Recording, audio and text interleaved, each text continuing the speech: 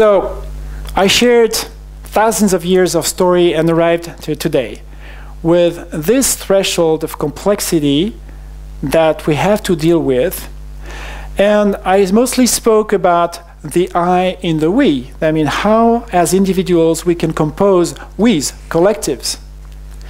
But I would like now to continue the story with the other part of the question. How do we deal with the we and the I? And I will share my personal story here. But what do I mean with the we in the I?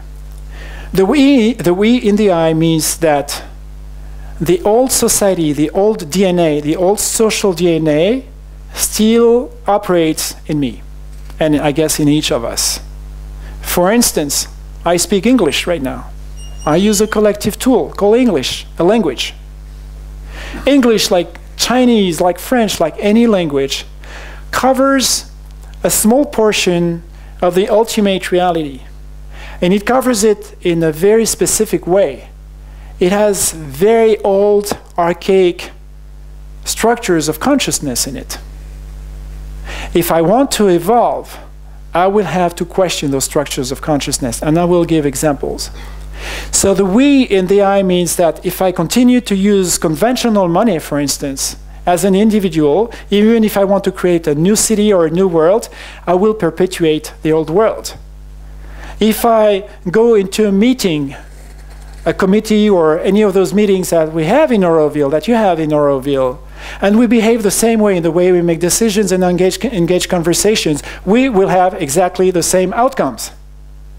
Whether we may think about the future and, and uh, and all these things, yes, we have them in the matrimandir or when we meditate, but in the very room, I see people suffering because they bring the same old DNA all the time, because they use the same social codes. That means bring inside the old DNA of the old civilization.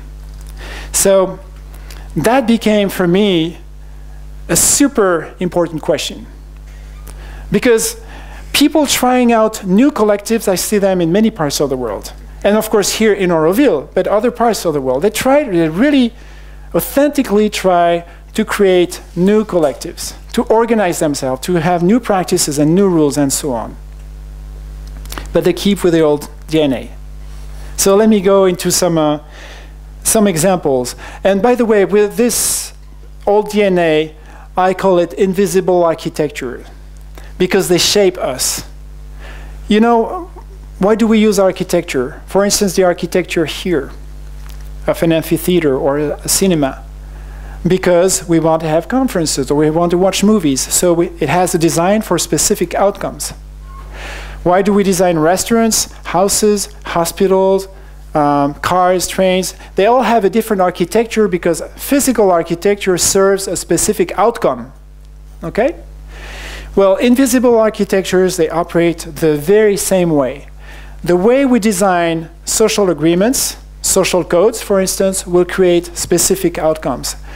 If we decide to shift the language into a new way of speaking, it will design also new social outcomes. And now let me go through my own examples because I really decided that as a researcher, I would take that for myself as my own journey. I see everyone making new social design everywhere. I don't see many people working on that, on those invisible architectures. So it, it became super important in my life to work on this. So first thing, a few examples. Um, ontology. Ontology means how we describe reality with language. The way we have a language creates the reality that we see. If we don't have a words for something, we just don't see it. And not just words, but also semantic structures. For instance, one thing that I decided to do for me to evolve, to evolve my own consciousness, I decided to speak not just English, but a derivative of English that you may have not noticed yet. It has a name, E prime, English prime, a derivative of English, E prime. Guess what? I don't use the verb to be. I used it a couple of times to quote, what do you want to be? Quote, okay?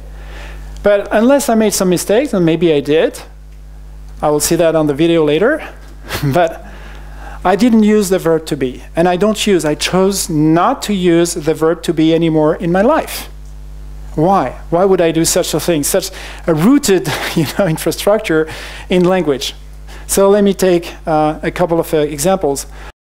If I say um, Auroville is, is cool, if I say um, this president is a bad guy, if I say Roland is shy, shy guy, yes. okay, whenever I say, you know, someone is this or this thing is that, I don't leave you the choice. It is. Done. It is. Okay? Now, if I say, I met Roland this afternoon and I found him shy. You see, then I shift the whole thing because I take responsibility for my perception I perceive him this way from my point of view, from my subjective experience, and then I offer you this experience. I don't impose the isness to the world. So it has two consequences. The first consequence, as I said, I don't impose things.